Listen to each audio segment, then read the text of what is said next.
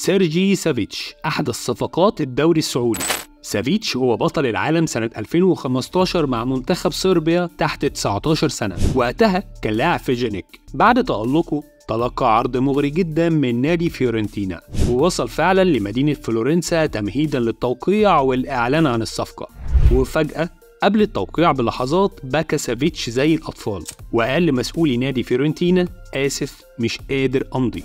مش عايز أوقع مع فيورنتينا. تاني يوم ساب سافيتش مع وكيله مدينة فلورنسا وسافر للعاصمة روما ووقع مع نادي لاتسيو اللي كانت رغبته من الأول بعقد لمدة خمس سنين. استمر سافيتش مع لاتسيو 8 سنين. لعب خلالهم 341 مباراة مع الفريق. سجل خلالها 69 هدف وقدم 59 تمريرة حاسمة. وفاز بكأس إيطاليا مرة والسوبر الإيطالي مرتين.